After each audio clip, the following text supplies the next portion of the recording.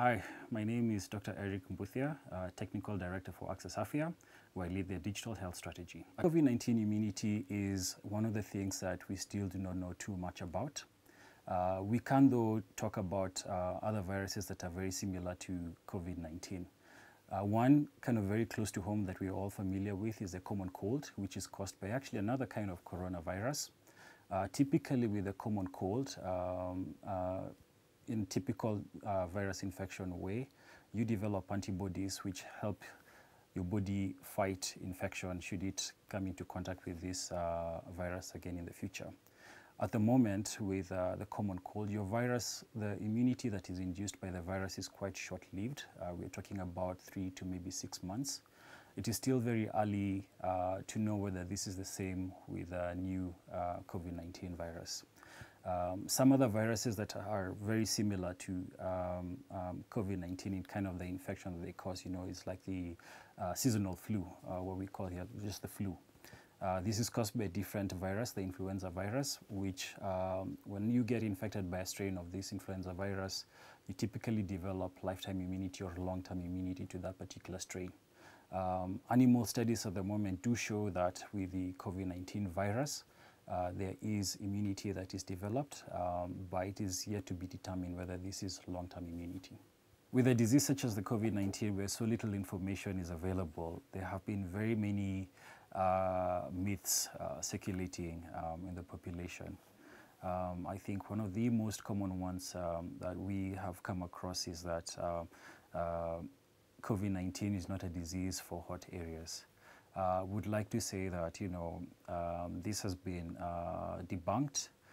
we do have COVID-19 cases in the tropics right here in Africa along the equator and the kind of infection pattern and you know the epidemiology of the virus appears to be the same as what's being experienced in the uh, more temperate regions. Another myth that we have come across is that this COVID-19 does not affect uh, uh, African American or black people.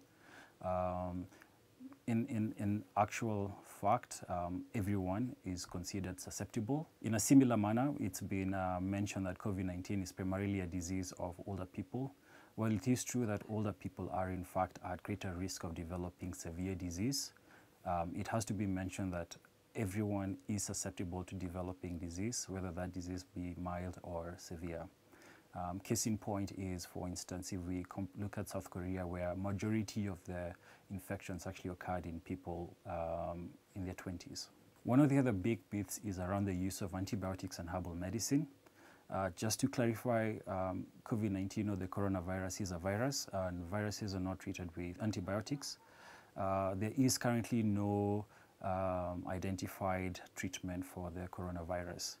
Uh, mainstay of care at the moment is management of symptoms to reduce the progression onto severe symptoms.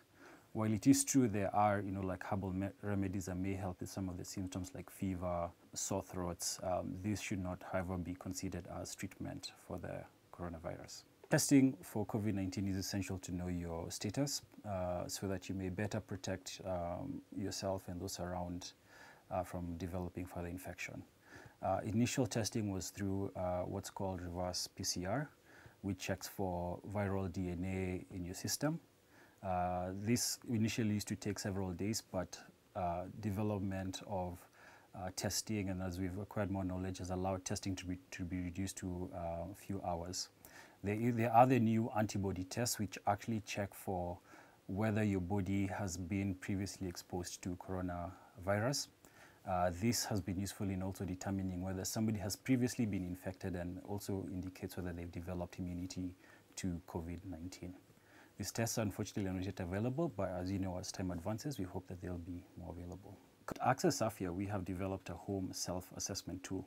This tool can be accessed either from your phone, uh, tablet, uh, browser.